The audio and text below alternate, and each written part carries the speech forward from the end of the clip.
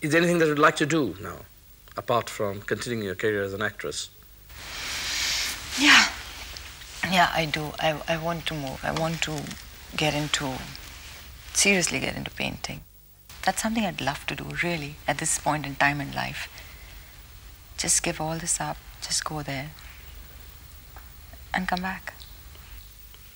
You up Sunny Deol too? Who? your fabled boyfriend. Oh, oh, what the magazines say. Oh.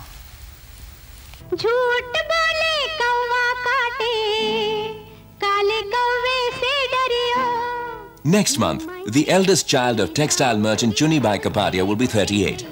And even though many in the film industry feel that Dimple Kapadia has missed the opportunity to be at the top of the star list because of her laid-back lifestyle and lack of professional drive, the actress herself is thrilled by the recognition and the awards that are coming her way thick and fast.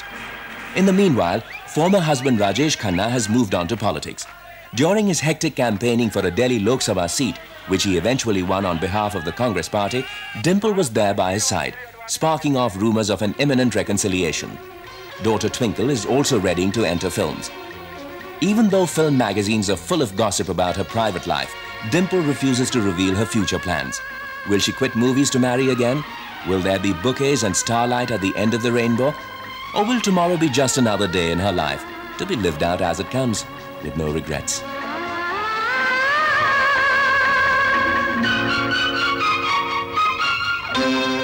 And that was Dimple Kapadia.